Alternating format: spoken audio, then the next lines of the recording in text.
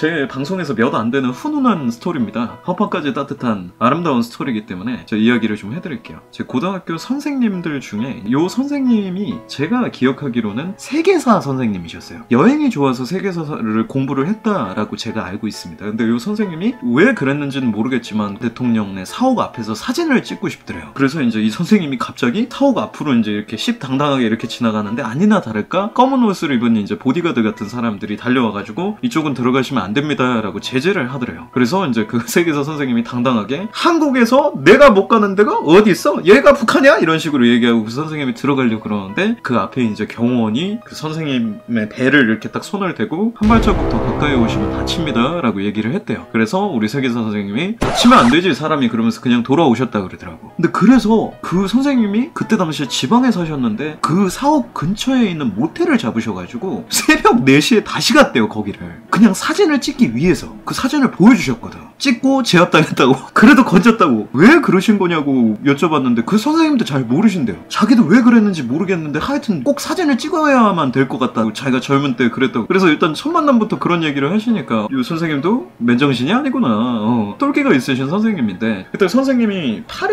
이만큼인가 흉터가 있어요. 와 저거 칼 맞았나 이럴 수준으로 좀 상처가 있어서 선생님 그 상처는 왜 생긴 거예요? 선생님이 예전에 어둠의 세계에 발을 좀 들였었지. 내 여자친구가 다른 쪽 라인에 잡혀 있을 때였다. 이러고 또 이게, 또 좋으시니까 그냥 이런 얘기를 많이 하셨는데 여러분 요즘에도 맥주 만드는데 그런 데 가면 맥주 공짜로 줘요? 저 한 번도 가본 적은 없어서 여러분들 중에 혹시 가보신 적 있으세요? 아 주는구나. 내가 알기로 요 세계선 선생님이 나온 대학교가 그 양조장 근처래요. 선생님이 학교 다닐 때 돈은 없고 술은 많이 먹고 싶으니까 한번 그런 생각을 하셨대요. 아 씨발 눈치 보고 자꾸 그렇게 먹지 말고 거기 직원이랑 한번 그냥 존나 친해져가지고 어차피 걔네도 그냥 씨발 공짜로 주는 거니까 그 정수기 통 있잖아. 거기에다가 씨발 맥주를 좀 담아와야 되겠다라는 생각을 하셨대요. 왜 그렇게 생각하셨는지는 모르겠어요. 선생님이 가가지고 그쪽에서 이제 설명을 해줄 거 아니야. 자주 오시는 분이 계시네요. 오면 안 되는데 막 이러면서 자기한테 꼽을 주길래 근데 우리 어차피 이렇게 된 거 정기권으로 좀 다닙시다 이런 얘기를 그 선생님이 그냥 깔끔하게 하셨나 봐. 근데 또 그 직원이 이제 제가 지금 여기 일한 지 10년이 넘어가는데 너 같은 참신한 또라이 는 처음이다. 마음에 든다. 이래서 선생님이 친구들하고 같이 가가지고 정수기 통 같은 걸 가져가면 맥주 따라하는 거 있잖아. 거기다가 따라가서 먹으라 그랬대요. 그 선생님이 애들이랑 그때 한번 어디였지? MT인가 그 비슷하게 어디를 가야 되는데 술을 자기가 담당한다 그러고 친구 6명이랑 정수기 통을 하나씩 구해가가지고 그 정수기 통에다가 맥주를 받아오셨대요. 근데 맥주를 이제 6개를 받아가지고 그걸 들고 나오는데 정수기 통이 존나 무겁대. 거기다가 또 이게 맥주가 존나 흔들리면 안 되니까 이걸 진짜 이렇게 껴안고 끙끙거리면서 이제 이렇게 옮기는데 앞에 있는 자기 후배들 중 한 명이 힘드니까 이걸 내려버린 거예요. 근데 뒤에 있는 애가 그걸 못 보고 그 앞이 안 보이니까 그냥 하다가 이제 넘어진 거죠. 계단에서 그렇게 다 이렇게 넘어져가지고 비어 샤워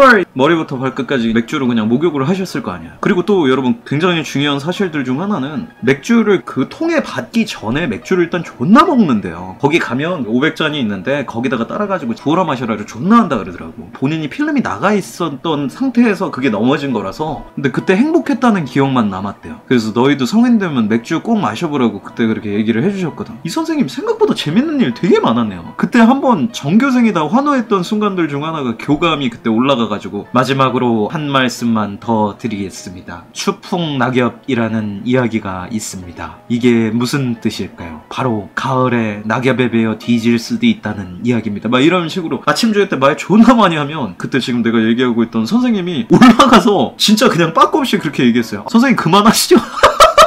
1교시에 수업 안 들어오셨던데 보니까 존나 혼났을걸요. 착 하다는 개념이랑 좀 달랐던 것 같아. 본인이 진짜 그냥 하고 싶은 대로 하면서 사신 분이 아니었을까라는 생각이 지금은 좀 들어요. 제가 다녔던 고등학교에서는 선생님들이 대체로 저를 별로 안 좋아했어요. 왜냐면 마술한다고 애새끼가 카드 들고 다니고 저 진짜 존나 미움을 많이 받았거든요. 제가 마술부라는 동아리를 만들려고 선생님들을 찾아다니면서 부탁을 그렇게 드렸는데 다 저를 별로 안 좋아하니까 너 뭐 마술부야 마술부는 너 그러면 더 마술할 거 아니야 존나 꼽을 줬어요 근데 세계사 선생님만 힘들어하는 나한테 와서 어? 준표 마술부 할 거야? 그때 그 선생님이 학생 주임 선생님이셨거든요. 준표 하고 싶으면 해야지. 선생님 이름으로 올려줄 테니까 네가 해봐. 선생님이 도와주셔서 마술부가 만들어졌어요. 그리고 그 선생님이 중간중간 제가 마술을 할 때 이제 애들한테 가르치는 모습이나 이런 걸 보시고 나서 저한테 뭐라 그랬냐면 너를 처음 봤을 때부터 선생님은 알았는데 선생님 학교 다닐 때도 너 같은 친구들이 있었는데 학교 다닐 때는 꼴통 소리 듣다가 결과적으로 동문회 하면 돈 제일 많이 내는 애들이 너 같은 친구들이었다고. 근데 한 가지 확신한 건 네가 마술 강의하 는 걸 보니까 선생님 생각에는 조급해할 필요 없이 너는 어차피 이 바닥이 아니어도 성공을 할 것 같긴 하다. 너무 걱정하지 말아라 라고 유일하게 그렇게 얘기를 해주셨어요. 아, 이 선생님은 평소에 한 번은 내가 고마움을 갚아야 되겠구나 라는 생각이 그때 많이 들었죠. 이렇게 아름답고 행복하게 얘기해서 그렇지 이 선생님은 본인의 행복을 위해서 그렇게 행동을 한 것 같다는 생각이 들어요. 내가 물어봤거든. 선생님 마술부 왜 만들어 주셨나요? 너 마술 배우려고? 아니 근데 진심이셨던 것 같아요. 똘끼가 충만하셨어요.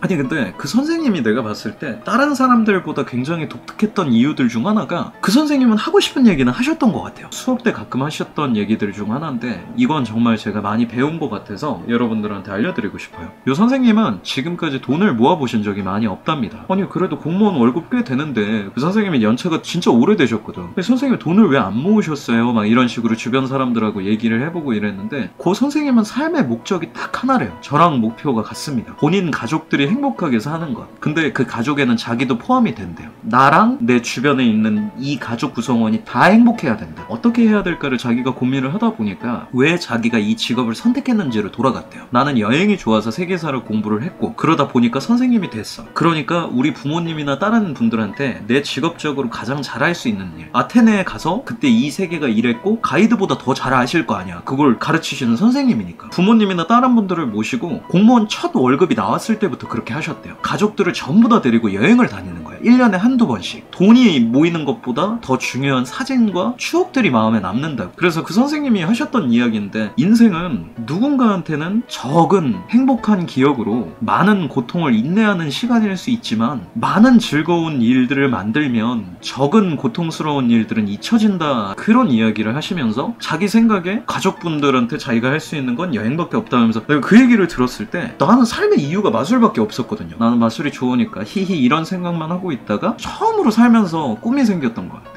마술을 하면서 우리 부모님이 행복했으면 좋겠다. 왜냐면 내가 행복하려면 나는 마술을 해야 되고 마술은 돈을 많이 못 번다는데 어쨌든 우리 부모님이 행복했으면 좋겠고 그렇게 답을 찾다가 이런 결과가 나오지 않았나 정확히 제가 이름도 기억나는 몇 안 되는 선생님이십니다. 너무너무 감사하더라고요. 졸업한 후에도 여러분 두 번이나 얼굴을 뵀습니다. 근데 이 두 번 얼굴을 뵌 게 제가 찾아간 게 아니라 거리 공연 때 우연히 두 번 뵀어요. 저를 알아보시더라고. 사람이 그렇게 마주치려면 마주치나 봐요. 제 인생의 목적과 꿈을 만들어주신 선생님들도 분명히 있다. 그런 분 한 분을 만나면 근데 정말 좀 많은 것들이 바뀌는 것 같다는 생각이 드네요. 그래서 하여튼 오늘은 가슴 따뜻한 훈훈한 얘기였습니다. 제 방송에 원래 이런 이야기 절대 안 하거든요.